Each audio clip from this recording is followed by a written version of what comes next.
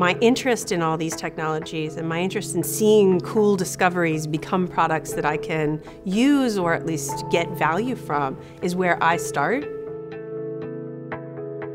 I'm Jax Kirtley, PhD candidate here at Questrom in the Strategy and Innovation Department.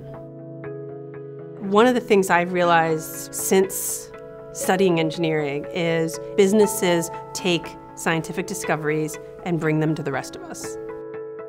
The experience of working in research kind of caught that line of interest for me between being a scientist and engineer and understanding businesses. And I kind of put two and two together and realized this is actually where I can learn a lot about these technologies and how they get to the world. I have a specific kind of research that I do. I do longitudinal field work. I'm talking to entrepreneurs every day to collect my data. I get stories and this rich knowledge from them. It's a different type of research than things that are more quantitative or more economics focused. Um, the lab experiments that are done by some of the researchers here. There's a breadth of disciplines and research methodologies here that I like the opportunity to learn from.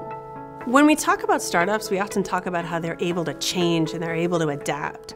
But if we don't look at them until they've already made a sale, we're not actually seeing when the, them when they're most able to change. Several of the firms that I'm studying have started talking to me before anybody knew they existed, before they had a completed prototype, before they were 100% sure who their market was going to be.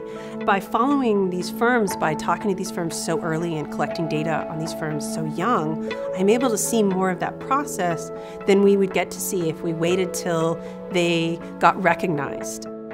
And that's something that I'm really interested in with my work with this data. When did the constraints start? When am I really nimble? Am I ever really able to change what keeps me from it, what allows me to change. And you have to see them very, very early to see that aspect of them.